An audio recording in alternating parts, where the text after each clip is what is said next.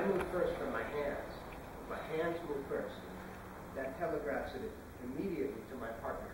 He, he feels that move, he resists that immediately. And if you move from your hands first, the rest of your body has to catch up to your hands before you're going to have any power in it. Otherwise, I'm just going to have my hand. Instead, if you move first from your center, right? More thinking again, your spine, right?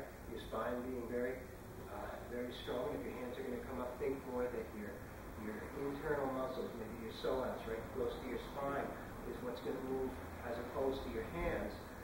When you find when you do move, when it finally reaches your hand, your whole body's behind it, so that it's very strong at that point with your partner.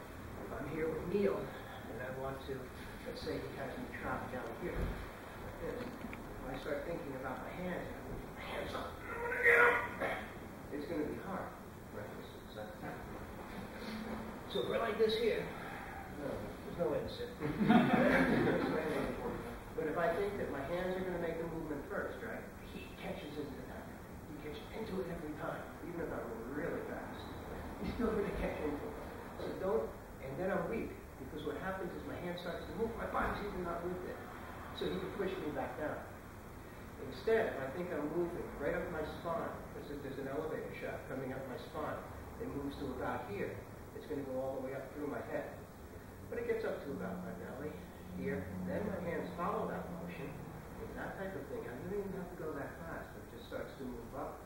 And then the rest of it is easy. and you can take the person down easily. You put this, did you put the same amount of pressure yeah. as before? it's so easy that you don't believe it's really working. Right? So you, there are mechanics that you can do, and there are ways that you can change your hands and do things, but as soon as it into my hands, it's really hard to do the technique. Let the person have you here.